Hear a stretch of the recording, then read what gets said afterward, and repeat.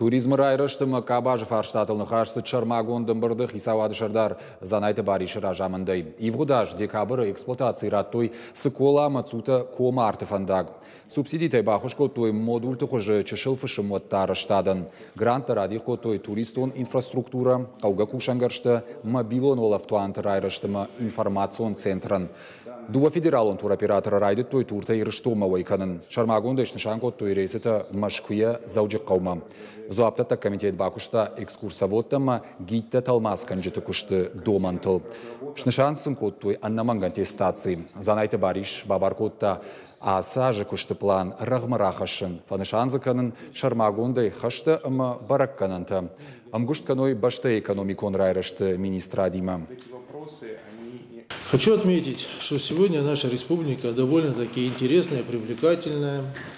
Э, у нас очень хороший климат, хорошая природа, хорошие люди проживают, и поэтому по результатам 2022 года было зафиксировано полтора миллиона туристов, которые посетили нашу республику.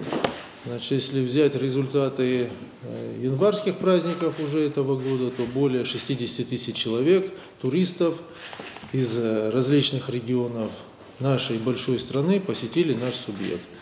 Поэтому развивать туризм на территории нашей республики – это приоритетная задача. Очень много предстоит нам сделать в этом направлении.